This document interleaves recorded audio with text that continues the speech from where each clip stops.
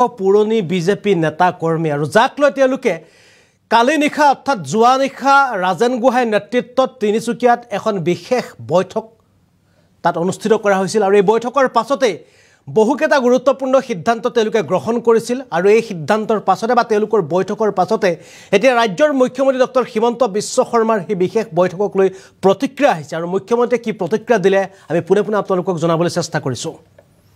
আৰু এই মুহূৰ্তত জনাইছোঁ বিশেষ খবৰটো। সকলো নেতা কৰ্মী হিন্দু হৈ থকাৰ আহ্বান জনালে মুখ্যমন্ত্ৰীয়ে। সকলো নেতা কৰ্মী হিন্দু হৈ থকাৰ আহ্বান। অসমত বৰ্তমান হিন্দুৰ অস্তিত্ব বিপদাপন্ন। হিন্দুৰ অস্তিত্ব বিপদাপন্ন বুলি ক'লে মুখ্যমন্ত্ৰীয়ে সকলোকে কেৱল হিন্দু হৈ থকাৰ আহ্বান জনাইছে মুখ্যমন্ত্ৰী কংগ্ৰেছত গ'লেও হিন্দু হৈ থাকক বিজেপিত থাকিলেও হিন্দু হৈ থাকক এই মন্তব্য মুখ্যমন্ত্ৰীয়ে কৰিছে। য'তেই নাযাওক কিয় কেৱল ভাল হিন্দু হৈ থাকিব লাগে?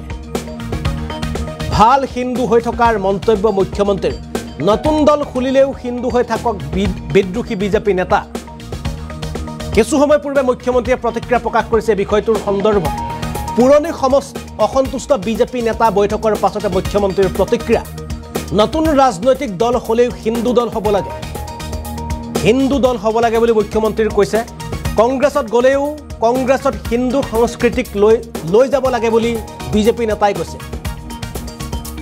অসমৰ বাৰখন জিলাৰ বৃহৎ অঞ্চলত বিজেপিৰ অস্তিত্ব নাই। Congress A I U D এফৰ নেতাও বাংলাদেশৰ বিৰুদ্ধে থিয় হ'ব লাগে। বাংলাদেশৰ বিৰুদ্ধে থিয় হোৱাৰ কথা কৈছে। সকলো নেতা কৰ্মী হিন্দু হৈ থকাৰ আহ্বান জনালে এইবাৰ মুখ্যমন্ত্ৰী ডক্টৰ হিমন্ত বিশ্ব শৰ্মাই। কিয়নো যোৱা নিশা দেখা পোৱা গৈছিল যে তিনিচুকীয়াৰ হিলটন ভিউ নামৰ যি হোটেল আছিল এই হোটেলত প্ৰাক্তন কেন্দ্ৰীয় মন্ত্ৰী ৰাজেন গোহাঁই নেতৃত্বত এক গোপন বৈঠক অনুষ্ঠিত হৈছিল। কেৱল যোৱা নিশাই নহয় বিগত বহু নিশাৰ পৰা বহু দিনৰ পৰা প্ৰাক্তন যিসকল কেন্দ্ৰীয় প্ৰাক্তন মন্ত্ৰী ৰাজেন গোহাঁই নেতৃত্বৰ লগতে একাংশ অসন্তুষ্ট বিজেপি নেতা কৰ্মীয়ে তেওঁলোকে পৃথকে পৃথকে ৰাজ্যিক বিজেপিক তেওঁলোকে কোনো খবৰ নিদিয়াকৈ তেওঁলোকে গোপন বৈঠক অনুষ্ঠিত কৰিছে। আৰু হয়তো তেওঁলোকে নতুন দলো হয়তো খুব কম দিনৰ ভিতৰতে তেওঁলোকে খুলিব বা নতুন দলৰ আত্মপ্ৰকাশ ঘটাব তেওঁলোকে আৰু যাৰ বাবে পুৰণি বিজেপি নেতা কৰ্মীয়ে তেওঁলোকে ইতিমধ্যে আলোচনা বিলোচনাত তেওঁলোকে মিলিত হৈছে। আৰু যোৱা নিশা ঠিক তেনেদৰে তিনিচুকীয়াত বিশেষ বৈঠক অনুষ্ঠিত হৈছিল। একাংশ পুৰণি বিজেপি অসন্তুষ্ট যিসকলে বৰ্তমানৰ বিজেপি কাম কাজক লৈ অসন্তুষ্ট বা যিসকলে বিজেপিৰ পৰা যেনেধৰণে তেওঁলোকে সন্মান বিচাৰিছিল বা যেনেধৰণে তেওঁলোকে বিজেপিৰ পৰা তেওঁলোকে যি বিচাৰিছিল সেই বিচৰাখিনি নোপোৱাৰ কাৰণে অসন্তুষ্ট প্ৰকাশ কৰি তেওঁলোকে বিশেষ বৈঠক অনুষ্ঠিত কৰিছিল আৰু তাৰ পাছতে মুখ্যমন্ত্ৰীৰ প্ৰতিক্ৰিয়া আহিছে বিষয়টোৰ সন্দৰ্ভত। মুখ্যমন্ত্ৰীয়ে কৈছে যে যি দল খুলিলেও তেওঁলোকে হিন্দু হৈ থাকক বা কংগ্ৰেছলৈ গ'লেও তেওঁলোকে হিন্দু হৈ থাকক। লগতে তেওঁ কৈছে যে অসমৰ বাৰখন জিলা বৰ্তমান হিন্দু বিপদাপন্ন বৰ্তমান ৰাজ্যত হিন্দু বিপদাপন্ন হৈছে। লগতে অসমৰ বাৰখন জিলাত হিন্দুৰ কোনো অস্তিত্ব নাই। গতিকে যি দল খুলিলেও যোনে দল খুলিলেও তেওঁলোকে হিন্দু হৈ থাকক বা হিন্দু হৈ থকাটো পোষকতা কৰিছে মুখ্যমন্ত্ৰী। আমি পোনে পোনে এবাৰ মুখ্যমন্ত্ৰীৰ এই প্ৰতিক্ৰিয়া আপোনালোকক দেখুৱাবলৈ চেষ্টা কৰিছোঁ। কৰিব পাৰে।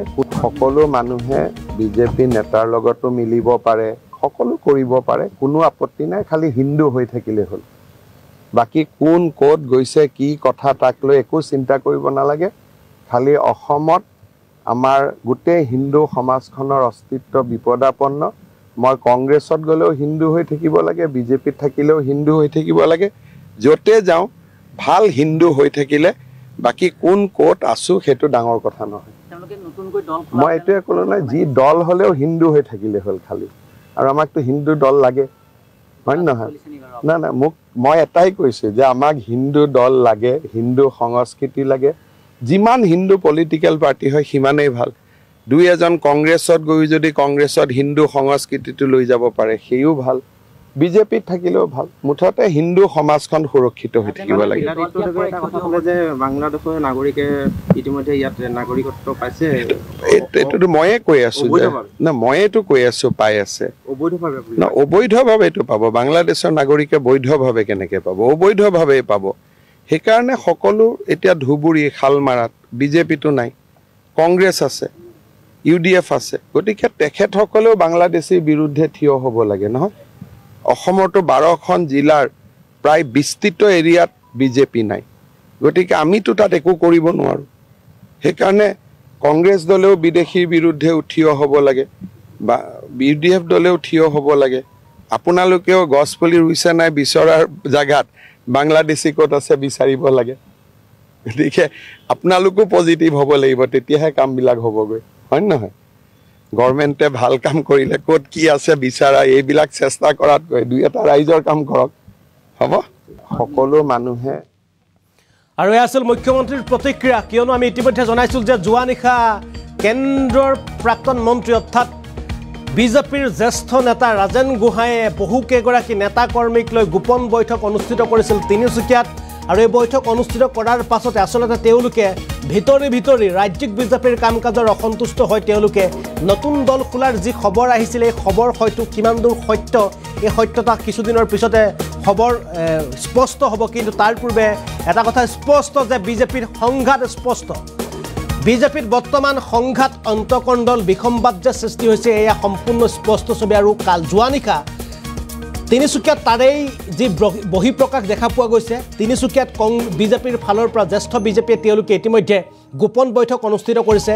আৰু গোপন বৈঠক অনুষ্ঠিত কেৱল যোৱা নিশা নহয় বিগত বহুদিনৰ পৰা তেওঁলোকে এনেদৰে গোপন বৈঠক অনুষ্ঠিত কৰি তেওঁলোকে এই বিজেপি বৰ্তমানৰ যি কাম কাজ সেই কাম কাজক লৈ তেওঁলোকে অসন্তুষ্টি প্ৰকাশ কৰিছে। আৰু এই প্ৰকাশৰ পিছতেই মুখ্যমন্ত্ৰীয়ে প্ৰতিক্ৰিয়া প্ৰকাশ কৰিছে। কালিৰ যিখন মিটিং আছিল যি বৈঠক আছিল এই বৈঠকৰ পিছতে আজি পুৱা মুখ্যমন্ত্ৰীয়ে প্ৰতিক্ৰিয়া প্ৰকাশ কৰি কৈছে যে আচলতে হিন্দু হৈ থকা কথাটো উল্লেখ কৰিছে মুখ্যমন্ত্ৰীগৰাকীয়ে। মুখ্যমন্ত্ৰীগৰাকীয়ে কৈছে যে বৰ্তমান হিন্দুৰ অস্তিত্ব বিপদাপন্ন। অসমত হিন্দুৰ অস্তিত্ব বিপদাপন্ন। সকলোৱে কেৱল হিন্দু হৈ থকাটো মুখ্যমন্ত্ৰীৰ আহ্বান জনালে সকলোকে হিন্দু হৈ থাকিবৰ কাৰণে জনাইছে। কংগ্ৰেছত গ'লেও হিন্দু হৈ থাকক বিজেপিত থাকিলেও হিন্দু হৈ থাকিব হিন্দু হৈ থাকক। অৰ্থাৎ আপোনালোকে নিশ্চয় এই কথাটো বুজি পাইছে যে যি শেহতীয়াকৈ অশোক শৰ্মাৰ কথা ওলাইছিল যে তেওঁ কংগ্ৰেছলৈ যোৱাৰ কথা ওলাইছিল আৰু তাৰ পাছতো হয়তো অশোক শৰ্মাক লক্ষ্য কৰি মুখ্যমন্ত্ৰীৰ মন্তব্য যে কংগ্ৰেছলৈ গ'লেও হিন্দু হৈ থাকক বিজেপিত থাকিলেও হিন্দু হৈ থাকক বুলি মন্তব্য কৰিছে। য'তেই নাযাওক কিয় কেৱল ভাল হিন্দু হৈ থাকক মন্তব্য মুখ্যমন্ত্ৰীৰ। নতুন দল খুলিলেও হিন্দু হৈ থাকক বিদ্ৰোহী বিজেপি নেতা। পুৰণি সমষ্টি অসন্তুষ্ট বিজেপি নেতাৰ বৈঠকত বৈঠকৰ পাছত মুখ্যমন্ত্ৰীৰ মন্তব্য। নতুন ৰাজনৈতিক দল হ'লেও হিন্দু দল হ'ব লাগে বুলি মুখ্যমন্ত্ৰীগৰাকীয়ে কৈছে। অৰ্থাৎ যিহেতু কংগ্ৰেছত কংগ্ৰেছত গ'লেও কংগ্ৰেছত হিন্দু সংস্কৃতি লৈ যাব লাগে বুলি মুখ্যমন্ত্ৰীয়ে কৈছে। আৰু অসমৰ বাৰখন জিলাত বৃহৎ অঞ্চলত বিজেপিৰ কোনো অস্তিত্ব নাই। কংগ্ৰেছ এ আই ডি এফৰ নেতাও বাংলাদেশৰ বিৰুদ্ধে থিয় হ'ব লাগে বুলি মুখ্যমন্ত্ৰীয়ে মন্তব্য প্ৰকাশ কৰিছে। আনকি গছপুলি ৰুবলৈ যোৱা সময়তো যি অসম চৰকাৰৰ নতুনকৈ যি নতুন যি আঁচনি গছপুলি ৰোপণৰ বাবে সেই গছপুলি ৰোপণৰ বাবে গ'লেও বা গছপুলি বিচাৰিলেও তাত বাংলাদেশীক বিচাৰিব লাগে বুলি মুখ্যমন্ত্ৰীয়ে এক প্ৰতিক্ৰিয়া প্ৰকাশ কৰিছে। আৰু সকলোকে হিন্দু হৈ থকাটো আহ্বান জনাইছে আৰু দল খুলিলেও যিহেতু নতুন দল খোলক হিন্দু দল খোলক বুলি মুখ্যমন্ত্ৰীগৰাকীয়ে এনেদৰে আজি প্ৰতিক্ৰিয়া প্ৰকাশ কৰিছে। যোৱা নিশা অনুষ্ঠিত হোৱা জ্যেষ্ঠ বিজেপি নেতা অসন্তুষ্ট বিজেপি নেতাৰ বৈঠকৰ পাছত।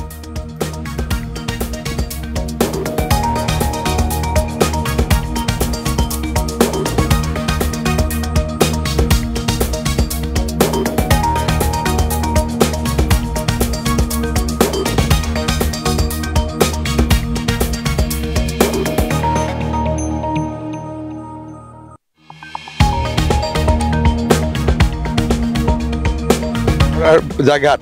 বা সকলো সকলো মানুহে বিজেপি নেতাৰ লগতো মিলিব পাৰে সকলো কৰিব পাৰে কোনো আপত্তি নাই খালি হিন্দু হৈ থাকিলে হ'ল। বাকী কোন ক'ত গৈছে কি কথা তাক লৈ একো চিন্তা কৰিব নালাগে। খালি অসমত আমাৰ গোটেই হিন্দু সমাজখনৰ অস্তিত্ব বিপদাপন্ন। মই কংগ্ৰেছত গ'লেও হিন্দু হৈ থাকিব লাগে বিজেপিত থাকিলেও হিন্দু হৈ থাকিব লাগে। য'তে যাওঁ ভাল হিন্দু হৈ থাকিলে বাকী কোন ক'ত আছো সেইটো ডাঙৰ কথা নহয়। মই এইটোৱে ক'লো নাই যি দল হ'লেও হিন্দু হৈ থাকিলে হ'ল খালি। আৰু আমাকতো হিন্দু দল লাগে হয় নহয়? না না মোক মই এটাই কৈছোঁ যে আমাক হিন্দু দল লাগে হিন্দু সংস্কৃতি লাগে। যিমান হিন্দু পলিটিকেল পাৰ্টি হয় সিমানেই ভাল। দুই এজন কংগ্ৰেছত গৈ যদি কংগ্ৰেছত হিন্দু সংস্কৃতিটো লৈ যাব পাৰে সেইও ভাল। বিজেপিত থাকিলেও ভাল। মুঠতে হিন্দু সমাজখন সুৰক্ষিত হৈ থাকিব লাগে। বিলাতীতকৈ এটা কথা ক'লে যে বাংলাদেশৰ নাগৰিকে ইতিমধ্যে ইয়াত নাগৰিকত্ব পাইছে। এই- এইটোতো ময়ে কৈ আছো যে। না ময়েতো কৈ আছো পাই আছে। অবৈধভাৱে না অবৈধভাৱেতো পাব। বাংলাদেশৰ নাগৰিকে বৈধভাৱে কেনেকে পাব? অবৈধভাৱে পাব। সেইকাৰণে সকলো এতিয়া ধুবুৰী শালমাৰাত বিজেপিটো নাই। কংগ্ৰেছ আছে ইউ ডি এফ আছে। গতিকে তেখেতসকলেও বাংলাদেশীৰ বিৰুদ্ধে থিয় হ'ব লাগে নহয়? অসমৰতো বাৰখন জিলাৰ প্ৰায় বিস্তৃত এৰিয়াত বিজেপি নাই। গতিকে আমিতো তাত একো কৰিব নোৱাৰোঁ। সেইকাৰণে কংগ্ৰেছ দলেও বিদেশীৰ বিৰুদ্ধে থিয় হ'ব লাগে বা বি ডি এফ দলেও থিয় হ'ব লাগে। আপোনালোকেও গছ পুলি ৰুইছে নাই বিচৰাৰ জেগাত বাংলাদেশী ক'ত আছে বিচাৰিব লাগে। গতিকে আপোনালোকো পজিটিভ হ'ব লাগিব তেতিয়াহে কামবিলাক হ'বগৈ। হয় নহয়? গভৰ্ণমেণ্টে ভাল কাম কৰিলে ক'ত কি আছে বিচাৰা এইবিলাক চেষ্টা কৰাতকৈ দুই এটা ৰাইজৰ কাম কৰক। হ'ব? সকলো মানুহে বিজেপি নেতাৰ লগতো মিলিব পাৰে সকলো কৰিব পাৰে কোনো আপত্তি নাই খালি হিন্দু হৈ থাকিলে হ'ল। বাকী কোন ক'ত গৈছে কি কথা তাক লৈ একো চিন্তা কৰিব নালাগে। খালি অসমত আমাৰ গোটেই হিন্দু সমাজখনৰ অস্তিত্ব বিপদাপন্ন। মই কংগ্ৰেছত গ'লেও হিন্দু হৈ থাকিব লাগে বিজেপিত থাকিলেও হিন্দু হৈ থাকিব লাগে। য'তে যাওঁ ভাল হিন্দু হৈ থাকিলে বাকী কোন ক'ত আছোঁ সেইটো ডাঙৰ কথা নহয়। মই এইটোৱে ক'লো নাই যি দল হ'লেও হিন্দু হৈ থাকিলে হ'ল খালি। আৰু আমাকতো হিন্দু দল লাগে। হয় নে নহয়? না না মোক মই এটাই কৈছোঁ যে আমাক হিন্দু দল লাগে হিন্দু সংস্কৃতি লাগে। যিমান হিন্দু পলিটিকেল পাৰ্টি হয় সিমানেই ভাল। দুই এজন কংগ্ৰেছত গৈ যদি কংগ্ৰেছত হিন্দু সংস্কৃতিটো লৈ যাব পাৰে সেয়াও ভাল। বিজেপিত থাকিলেও ভাল। মুঠতে হিন্দু সমাজখন সুৰক্ষিত হৈ থাকিব লাগে। নাগৰিকে ইতিমধ্যে ইয়াত নাগৰিকত্ব পাইছে। এই- এইটোতো ময়ে কৈ আছো যে। না ময়েতো কৈ আছো পাই আছে। অবৈধভাৱে অবৈধভাৱেতো পাব। বাংলাদেশৰ নাগৰিকে বৈধভাৱে কেনেকে পাব? অবৈধভাৱে পাব। সেইকাৰণে সকলো এতিয়া ধুবুৰী শালমাৰাত বিজেপিটো নাই। কংগ্ৰেছ আছে ইউ ডি এফ আছে। গতিকে তেখেতসকলেও বাংলাদেশীৰ বিৰুদ্ধে থিয় হ'ব লাগে নহয়? অসমৰতো বাৰখন জিলাৰ প্ৰায় বিস্তৃত এৰিয়াত বিজেপি নাই। গতিকে আমিতো তাত একো কৰিব নোৱাৰোঁ। সেইকাৰণে কংগ্ৰেছ দলেও বিদেশীৰ বিৰুদ্ধে থিয় হ'ব লাগে বা বি ডি এফ দলেও থিয় হ'ব লাগে। আপোনালোকেও গছ পুলি ৰুইছে নাই বিচৰাৰ জেগাত বাংলাদেশী ক'ত আছে বিচাৰিব লাগে। গতিকে আপোনালোকো পজিটিভ হ'ব লাগিব তেতিয়াহে কামবিলাক হ'বগৈ। হয় নহয়? গভৰ্ণমেণ্টে ভাল কাম কৰিলে ক'ত কি আছে বিচাৰা এইবিলাক চেষ্টা কৰাতকৈ দুই এটা ৰাইজৰ কাম কৰক। হ'ব? সকলো মানুহে